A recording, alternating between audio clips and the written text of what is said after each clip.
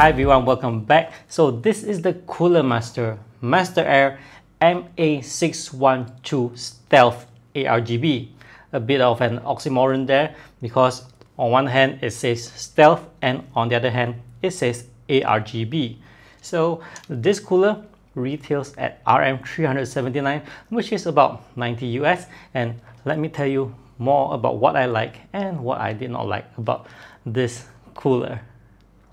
Let's start from the top. The top comes with a removable plate, which is a nice touch for whatever reasons. Perhaps you want to mod the plate or you just want to reduce the height of the cooler slightly.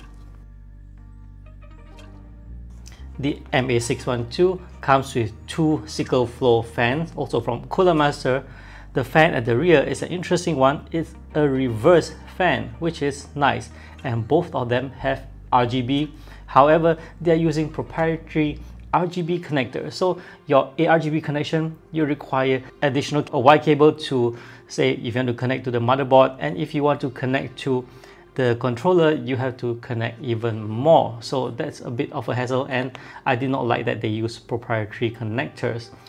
Moving on, assembly is easy. This is what the mount looks like. However, the mount is loose when you place it on the board and then it being loose, it means that it is also difficult to find the location to mount the screw that is on the heatsink. So even if you manage to align it, remember to press and then twist it as much as you can to tighten the screw.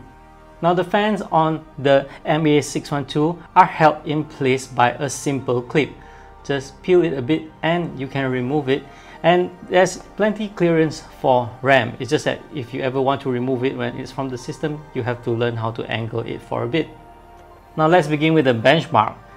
Remember the price is RM 379 and I'm comparing it to a Noctua NHD15 which is more than RM 500 USD it's about what 120 130 ish so I am comparing it to a much more expensive cooler. And here's the result. You can see it's less than 2 degrees Celsius apart which is very good. And then I tested the MA612 with just the front fan and the rear fan of which I found that it actually works very well even with the front fan alone. So the rear fan it's kind of pointless actually. It just dropped the temperature by 0.2 degrees Celsius and mind you, I'm actually using a Ryzen 5 3600 XT, which is a rather warm processor. So what I think is that it would have been great if Cooler Master reduced the rear fan. I know it's a nice SickleFlow fan. I like it too. But imagine this. By removing this fan, you can actually reduce the price by about RM50, which is about US 12.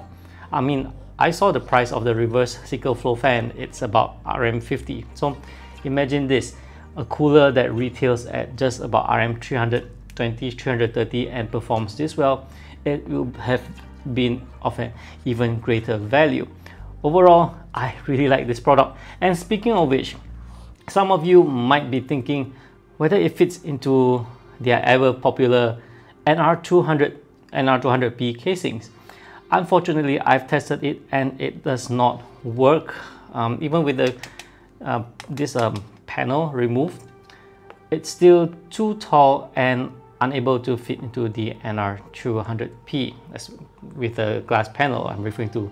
So it's, uh, it's uh, quite disappointing considering that the NR200P is a runaway success. However, Cooler Master did not follow up with coolers that can actually fit. I mean, this cooler with, with just a bit of height shortened would have fit it perfectly. Unfortunately, Cooler Master did not do that. Well, regardless, I still think that this is a great cooler and I'm giving it a gold badge. Alright, so that's it for this one. Thanks for watching guys and I'll see you guys in the next one. Do remember to subscribe to my channel if you haven't. Coming soon on goldfries. One of the things coming up in this lab is my new tiny casing you guys want to guess what specs that I'm going to have in this build, well, feel free to comment in the comment section. Definitely, you guys should look forward to it.